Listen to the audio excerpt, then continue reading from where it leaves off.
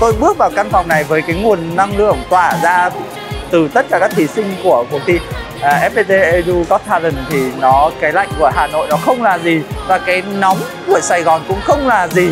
Với cái năng lượng mà các bạn đang thấy các bạn thí sinh hôm nay nó tỏa ra.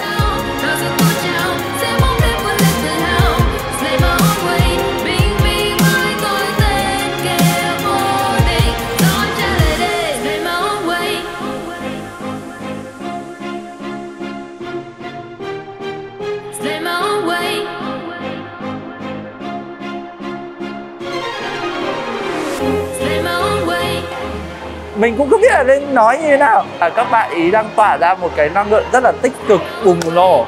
Wow. Không thể nào tả được ý. Tất cả các thí sinh đã vào được vòng chung kết ngày hôm nay đều là những cái talent của FPT à, việc tập luyện cho các bạn ý thực ra rất là với mình rất là đơn giản. Mình chỉ là người đang đưa ra ý tưởng và gắn kết các bạn lại với nhau thực lực của các bạn như thế nào thì đã được chứng minh đi. Các bạn đang là những cái thí sinh đã được vào vòng chung kết. Vì vậy à, mình thấy rằng mọi việc nó rất là dễ dàng khi được làm việc với các bạn.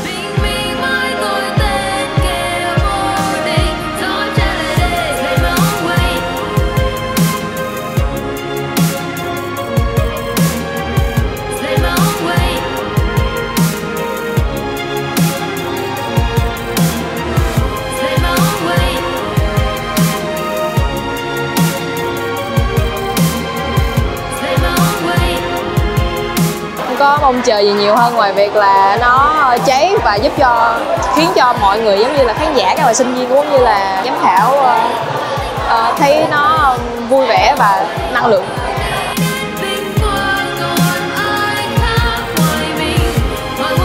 Buổi tập luyện hôm nay ờ, rất là thú vị tại vì mình có thể tập trung được với tất cả các tiết mục khác.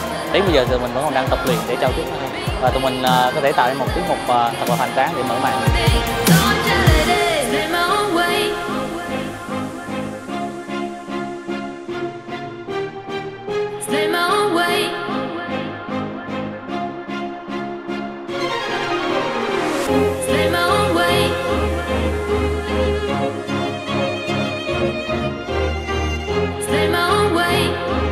Tôi là người khó tính trong tất cả mọi việc không chỉ là trong việc biên đạo. Rất là dễ thương và rất là nhiệt tình còn đôi khi còn làm trò nữa rất là dễ thương. Nói chung là mình cũng rất là thích ảnh.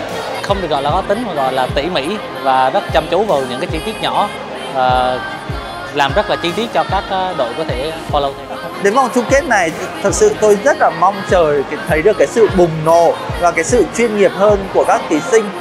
Trong cái vòng chung kết này cái điểm rơi nghệ thuật của các bạn ấy cũng rất là ok bên cạnh đó, các bạn sẽ bùng nổ được cái cảm xúc các bạn có thể thăng hoa hơn. Chị cũng rất trân trọng và cảm ơn hành trình của các em đã đến với FPT Gold Talent và ngày hôm nay thì chúng trong cái sức đa dạng đấy, chúng ta đang có một cái sự chút nhất đấy chính là tinh thần hết mình sự cháy của học sinh sinh viên FPT Edu.